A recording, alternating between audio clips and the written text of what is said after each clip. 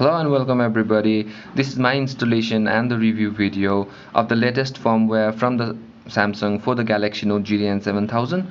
So let me just show you.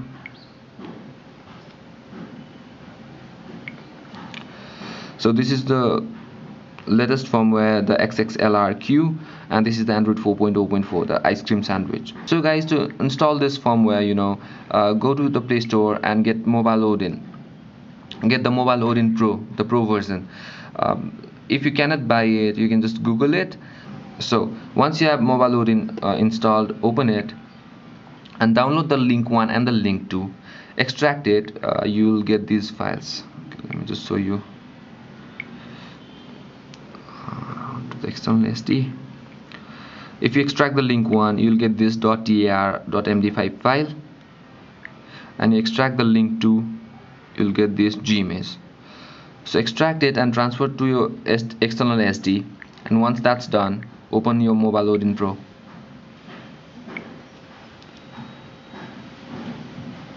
Now go to open file and navigate to wherever you have saved the link 1 I mean the extracted file of the link 1 as I have it in my external SD so I'm choosing it. And hit OK and go to kernel again navigate to wherever you have set the link to the gmsh file. Select it. Now scroll down. Uh, select wipe cache and wipe dalvik cache as well and hit flash firmware. So this will flash the firmware. As I've already uh, flashed it so I'm not doing it again. So as it's an official firmware no issues with any of the functionality everything works perfect so you get this TouchWiz UX from the Galaxy S3 the S3 kind of transitions by default you know with this firmware. Uh, so that's good. And you get this live wallpapers pre-installed you know. Let me show you. You get these three live wallpapers the Galaxy Note 2 Feather the S3 Dandelion and the S3 Drop. So let me just show you. You can do the settings you know uh, say I want the water droplet sound. And okay now going back. Sorry. And hit set wallpaper. Okay now you can see that the sounds the water droplet sounds and it seems that as if I'm sliding my finger onto some water surface. So that's good. So first coming to the apps that you get with this phone are uh, the ChatON the flipboard what else?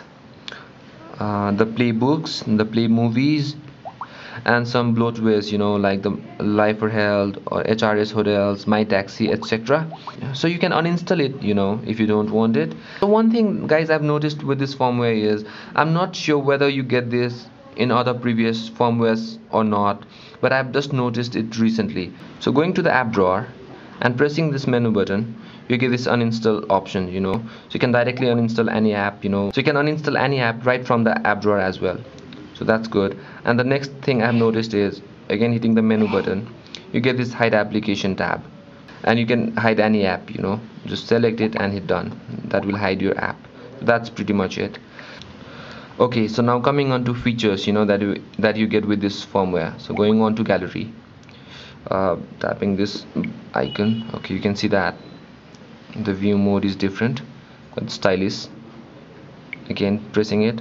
The 3d cube kind you can just rotate up or rotate down. I mean slide up or slide down. And you can just go through your photos. That's good. Going back. Some new motion controls. Going to settings into display. You see something called camera quick access. Enable it. And how this works is let me just show you so how this works is you know once your phone is locked just tap and hold, hold on to your home screen and just turn your phone. Okay you can see that camera is open now. So that's good. So the next thing that has been added to this firmware is going to menu settings uh, motions.